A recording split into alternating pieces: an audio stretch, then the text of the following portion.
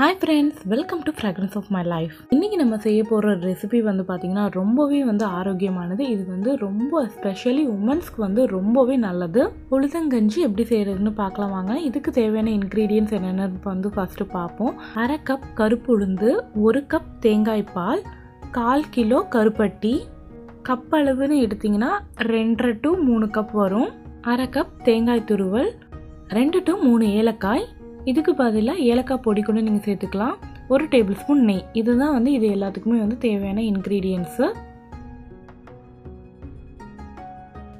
First ஒரு கடாயை ஒரு இல்லைனா ஒரு பேனை வந்து சூடு பண்ணிக்கோங்க. நல்லா வந்து சூடானதுக்கப்புறமா கருப்பு உளுந்து இருக்கு இல்லையா? அதை வந்து நம்ம வந்து இதில் வந்து நல்லா வந்து வறுத்துக்கணும். கருப்பு உளுந்து வந்து கிடைக்காதவங்க நம்ம நார்மல் வந்து வெள்ளை உளுந்து இருக்கு இல்லையா? அதுவே வந்து இதே மாதிரி வந்து செஞ்சு சாப்பிட்லாம். சேம் ப்ரொசீஜர் தான். வெள்ளை உளுந்து வந்து இந்த மாதிரி வறுக்கும்போது அது நல்லா வந்து கோல்டன் ப்ரௌன் ஆகிற வரைக்கும் வந்து வறுத்துக்கணும். இதுவே வந்து கருப்பு உளுந்துனா உங்களுக்கு வந்து கலர் வந்து உங்களுக்கு சேஞ்ச் ஆகிறது தெரியாது. அந்த வந்து உளுந்து வறுக்கும்போது அந்த நல்ல ஒரு ஸ்மெல் வரும். நீங்கள் வாயில் போட்டு கடிச்சிங்கன்னா நறுக்கு நறுக்குன்னு உடையும். அந்த ஸ்டேஜ் வரைக்கும் நல்லா வறுத்துக்கோங்க. இப்படி உளுந்தை நல்லா வறுத்ததுக்கப்புறமா மினிமம் ஒரு ஆஃப் அன் ஹவர் வந்து நம்ம வந்து ஊற வச்சிடணும். வெள்ளை உளுந்தோட பார்த்திங்கன்னா இந்த கருப்பு உளுந்துக்கு தான் வந்து சத்துக்கள் வந்து அதிகம். இப்போ வறுத்து முடிச்சாச்சு. இதை வந்து ஊற வச்சிடலாம். ஒரு ஆஃப் அன் அவர் நல்லா வந்து ஊறினதுக்கு அப்புறமா இதுலேயே வந்து பார்த்தீங்கன்னா ஏலக்காய் ஒரு ரெண்டு டு மூணு ஏலக்காய் வந்து இதுலேயே போட்டுருங்க. போட்டுட்டு நல்லா வந்து அரைச்சிக்கோங்க. இந்த கன்சிஸ்டன்சியில் இருக்கணும். நல்லா நைஸாக இருக்கணும் மாவு. அந்த மாதிரி அரைச்சிக்கோங்க. நீங்கள் மொத்தமாக வந்து நல்லா வறுத்தும் மிஷினில் கொடுத்து அரைச்சி பவுட்ரு மாதிரி அரைச்சி கூட வச்சுட்டு இந்த மாதிரி வந்து செய்யலாம். இப்போ நம்ம ஒரு டேபிள் ஸ்பூன் நெய் விட்டு தேங்காய் துருவல் வந்து நல்லா வதக்கிக்கலாம் இந்த நெய்லேயே. நெய்யில் வறுக்கிறதால நல்ல மணமாக இருக்கும். அது மட்டும் இல்லாமல் நம்ம இதை வந்து கஞ்சியில் போடும்போது அதை சாப்பிட்றதுக்கு நடு நடுவில் வரும்போது அது ரொம்பவே நல்லாயிருக்கும் உங்களுக்கு தேங்காய் பிடிக்காதுன்னா இந்த ஸ்டெப் வந்து நீங்கள் ஸ்கிப் பண்ணிடலாம். இந்த மாதிரி லைட் கோல்டனாக ஆகிற வரைக்கும் நல்லா வந்து அந்த நெய்யில் வந்து வறுத்துக்கோங்க. நெக்ஸ்ட்டு கருப்பட்டி கரைசல் வந்து ரெடி பண்ணிக்கலாம். நம்ம எடுத்து வச்சுருக்க கருப்பட்டியை வந்து ஒரு பாத்திரத்தில் போட்டு கொஞ்சமாக வந்து தண்ணி ஊற்றிக்கோங்க தண்ணி ஊற்றிட்டு இதை வந்து நல்லா அந்த தண்ணியிலேயே வந்து நல்லா கரைய விடுங்க ஸ்டவ்வில் வச்சு. நீங்கள் டேரெக்டாக வந்து கருப்பட்டியை வந்து கஞ்சியில் சேர்க்காதீங்க. ஏன்னா வந்து நிறைய கசடு இருக்கும் இதில். அதை வந்து நம்ம வடிகட்டிடலாம். ஃபஸ்ட்டே வந்து கருப்பட்டி கரைசல் மாதிரி செஞ்சு. இதுக்கு பார்த்தீங்கன்னா எதுவுமே வந்து இந்த பாகுபதம் அந்த மாதிரிலாம் வந்து ஒன்றுமே இல்லை. ஜஸ்ட் வந்து நல்லா வந்து கருப்பட்டி வந்து நல்லா வந்து கரைஞ்சிடணும். கருப்பட்டி நல்லா கரைஞ்சிடட்டும். கரைஞ்சதுக்கப்புறமா ஒரு கொதி வந்ததுக்கப்புறமா நீங்கள் ஸ்டவ் ஆஃப் பண்ணிவிட்டு இதை வந்து ஃபில்டர் பண்ணிக்கோங்க வடிகட்டி வச்சுக்கோங்க. நெக்ஸ்ட்டு கஞ்சி செய்கிறதுக்கு ஃபஸ்ட்டு வந்து அரை கப் உளுந்து நம்ம எடுத்தோம் இல்லையா? அதுக்கு வந்து ரெண்டு கப் தண்ணி ஊற்றி நல்லா வந்து இதை கொதிக்கட்டும்.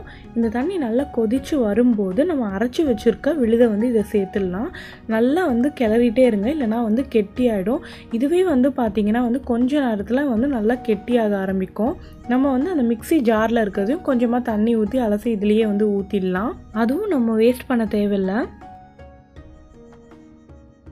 ஏற்கனவே நம்ம வந்து வறுத்த உளுந்து தான் வந்து நம்ம அரைச்சே சேர்த்துருக்கோம். அதனால் வந்து பார்த்திங்கன்னா இது வந்து சீக்கிரமாக ரெடி ஆகிடும் சீக்கிரமாகவே உங்களுக்கு அந்த பச்சை ஸ்மெல்லு வந்து போயிடும். இந்த மாதிரி நல்லா கொதி வரும்போது நல்லா கிளறி விட்டுட்டே இருங்க. ஒரு ரெண்டு டு மூணு கொதி வரட்டும். மூணு கொதி வந்ததுக்கப்புறமா நம்ம கருப்பட்டி கரைசல் இருக்கு இல்லையா அதை வந்து இதில் சேர்த்துக்கலாம். இந்த கருப்பட்டிக்கு பதிலாக வந்து நீங்கள் நாட்டு சர்க்கரையும் யூஸ் பண்ணிக்கலாம். ஆனால் நார்மல் சர்க்கரை வந்து யூஸ் பண்ணாதீங்க. அது வந்து ரொம்பவே வந்து உடம்புக்கு கெடுதல். மோஸ்ட்லி வந்து நம்ம அவாய்ட் பண்ணிக்கலாம். கருப்பட்டி கொஞ்சம் காஸ்ட்லி இல்லையா அதனால் வந்து நீங்கள் நார்மல் நாட்டு சர்க்கரை வந்து இதில் வந்து சேர்த்துக்கலாம். இப்போ இதை நல்லா வந்து கஞ்சியோடு நல்லா வந்து கலந்து விடுங்க. நல்லா கலந்து விட்டதுக்கப்புறமா ஒரு ரெண்டு நிமிஷத்துக்கு அப்புறமா நம்ம தேங்காய் பால் எடுத்து வச்சுருக்கோம் இல்லையா? அந்த பாலையும் வந்து இதில் ஆட் பண்ணிக்கலாம். நீங்கள் உளுந்தோட ஏலக்காயை வந்து போட்டு அரைக்கிறதுக்கு பதிலாக ஏலக்காய் தூள் சேர்க்கணுன்னா இந்த ஸ்டேஜில் வந்து நீங்கள் ஏலக்காய் தூள் ஆட் பண்ணிக்கலாம். சும்மா ஒரு சிட்டிகை ஏலக்காய் தூள் ஆட் பண்ணிக்கலாம். ஒரு ரெண்டு டு மூணு நிமிஷத்தில் வந்து பார்த்திங்கன்னா இந்த மாதிரி நல்லா திரண்டு வரும். அப்போ வந்து நம்ம தேங்காய் துருவல் வந்து நம்ம நெய்யில் வதக்கி வச்சுருக்கோம் இல்லையா? அதை வந்து சேர்த்துக்கலாம். ஏற்கனவே சொன்ன மாதிரி தாங்க இந்த தேங்காய் துருவல்ன்றது உங்களுக்கு ஆப்ஷனல் தான்.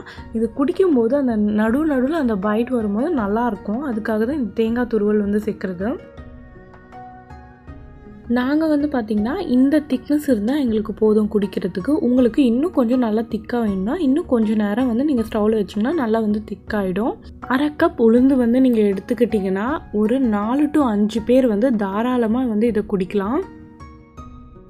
நீங்கள் வந்து காலை உணவாகவே வந்து இதையே தான் எடுத்துக்கிறீங்க பிரேக்ஃபாஸ்ட்டுக்கு அப்படின்னா வந்து மூணு பேர் வந்து தாராளமாக வந்து குடிக்கலாம். அவ்வளோதாங்க நம்ம வந்து ஸ்டவ் ஆஃப் பண்ணியாச்சு. ரொம்ப ரொம்ப ஹெல்த்தியான ஒரு ட்ரிங்க் வந்து இன்றைக்கி எப்படி செய்கிறதுன்னு பார்த்தோம். உங்கள் வீட்லேயும் வந்து கண்டிப்பாக வந்து செய்யுங்க. குழந்தைங்கலேருந்து பெரியவங்க வரைக்கும் வந்து இதை குடிக்கலாம். எஸ்பெஷலி வந்து பார்த்தீங்கன்னா உமன்ஸ்க்கு பெண்களுக்கு இது ரொம்பவே நல்லது. இடுப்பு எலும்பு வந்து நல்லா ஸ்ட்ராங் ஆகும் இது வந்து நீங்கள் குடிச்சிங்கன்னா. இந்த ரெசிபி உங்களுக்கு பிடிச்சிருந்ததுன்னா லைக் பண்ணுங்கள் கமெண்ட் பண்ணுங்கள் இன்னும் நம்ம சேனலை நீங்கள் சப்ஸ்கிரைப் பண்ணாமல் இருந்தீங்கன்னா மறக்காமல் சப்ஸ்கிரைப் பண்ணிவிடுங்க தேங்க்யூ